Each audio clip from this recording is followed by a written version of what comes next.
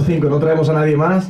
Eh, es un orgullo ver cómo, cómo ha pasado esto. O sea, nosotros, eh, recuerdo hace, bueno, cuando salieron los tickets del primer Metropolitan, estábamos aquí haciendo promo, aquí en Sony, y hace dos semanas exactamente, y nos dijeron, ah, se ha bloqueado el sistema de la venta porque por lo visto ah, Ticketmaster retiene una cantidad de tickets.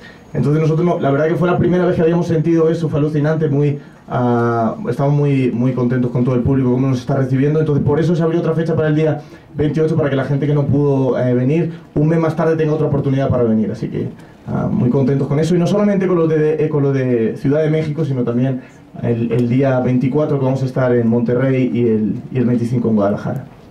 Algún invitado, aún no sabemos quién, pero puede ser, puede ser. La verdad que estamos preparando ya el show, vamos, estamos pensando ideas y bueno, vamos a hacer los temas del disco obviamente y alguna cover creo que también es. Pero bueno, estamos montando y estamos pensando a ver quién puede colaborar.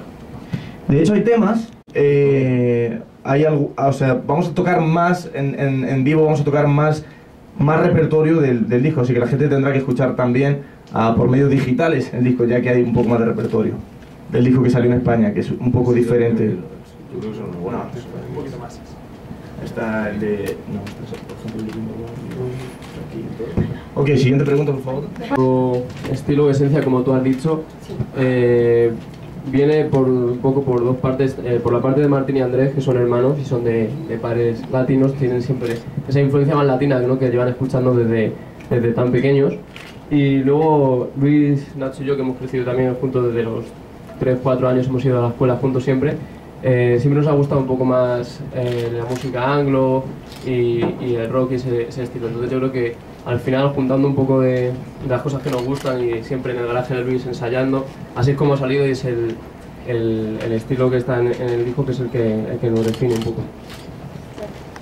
Mucho, por ejemplo, Isan Joy, Camila, Rake, Carlos ah, Rivera. Carlos Rivera, o sea, son artistas Maná. que. Ma- Maná también, o sea, son artistas que nos gustan mucho desde, desde pequeños, sobre todo Maná. Y bueno, ojalá sería, se- se- sea posible, ¿no? Poder algún día tener alguna colaboración con ellos. Cuando decimos maná aquí la gente se asusta como, ¿qué? Maná, pero en- aquí la gente como que, o sea, noso- nosotros percibimos maná de una manera que parece que, por todas las entrevistas que hemos hecho y tal, el mexicano o la mexicana no lo percibe así. Nosotros hemos crecido con maná y, y es el grupo eh, más característico de nosotros. O sea, si tuviésemos que elegir un grupo, yo recuerdo con 14 años y 15 ellos, ah, y 16, ir a, ver, ir a verlos en concierto y, como nosotros decimos, fliparlo. Así que nosotros ah, somos muy fans de ellos. sí, sí, De sí. hecho, tuvimos la oportunidad de conocerlos hace seis meses más o menos.